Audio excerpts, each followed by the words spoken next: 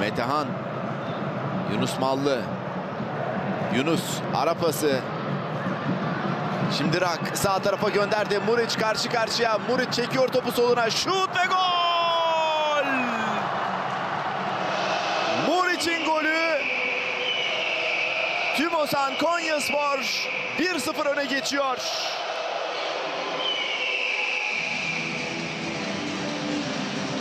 Maçın başından bu yana aradığı golü buluyor Konyaspor. İşte Yunus'la başladı atak.